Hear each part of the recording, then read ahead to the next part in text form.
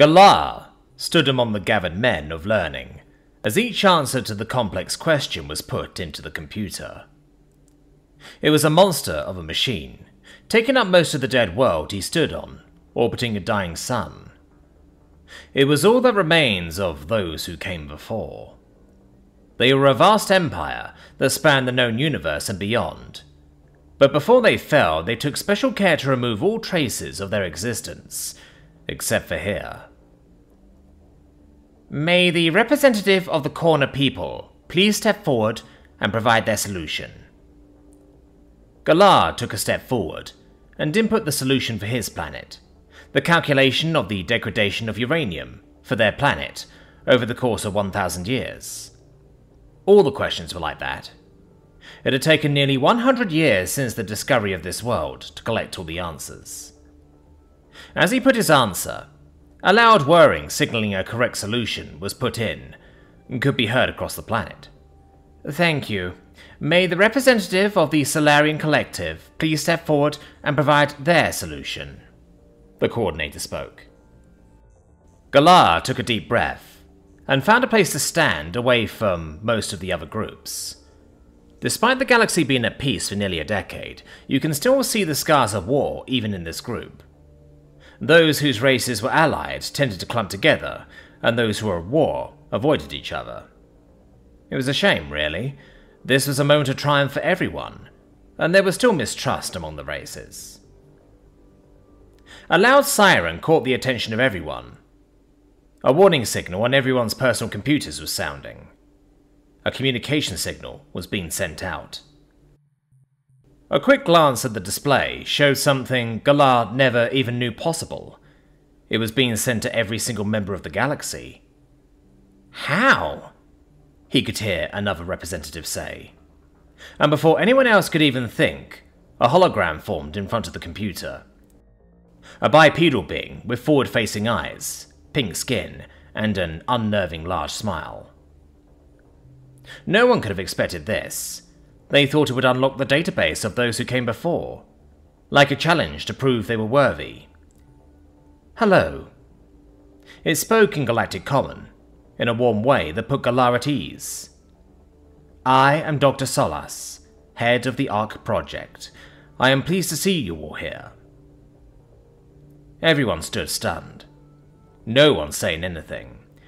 I know you have lots of questions, but please let me tell you the tale of my people first.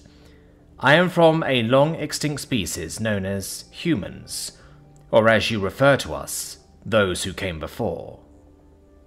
This brought up some murmurs from the crowd. How did they know what we were going to call them? We were a violent and strange race that didn't really leave our home so much as explode out of it once we had the chance.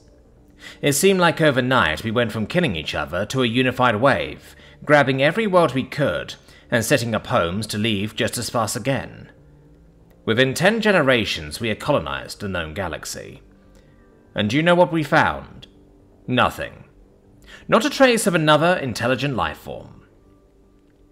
He held this last statement as the collective galactic community held its breath. How? There's currently over a million individual members of the galactic community, and it seems a new intelligent life form is discovered daily. But we persisted. Because if there is one thing humanity is, it's been social.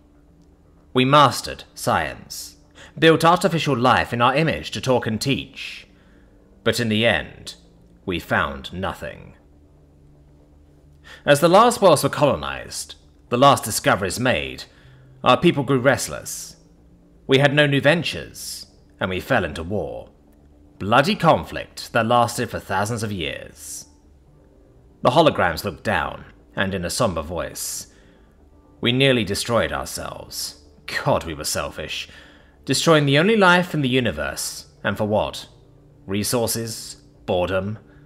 But then, a breakthrough occurred. He looked back out at the crowd. We had discovered it. The singularity. We could leave this dead universe and move on, maybe even find others like us. Dr. Solas smiled again, this time with a tinge of sadness. But we couldn't leave this galaxy dead and barren again, in the off chance another species would grow alone. So a plan was formed. The ARC project started. A three stage plan. Remove all trace of humanity ever existing, except for Earth. Terraforming every world to sustain life of some sort.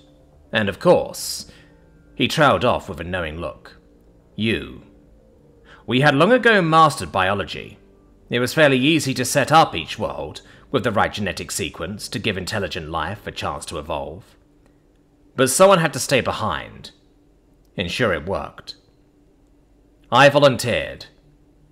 I gave up Singularity and had my consciousness uploaded to this machine. He gestured at the computer. As an AI to watch, to learn, and to know when you were ready. Seeing you all grow was perhaps the happiest thing I had witnessed. When the galaxy was once a universe of one, it became a universe of many. You advanced, you fought, you traded, and you learned, and I am so proud of you all for what you have done. The collected group of men of learning, no, the entire galactic community was too stunned to speak. Without thought, Galar asked the only question that mattered. Why?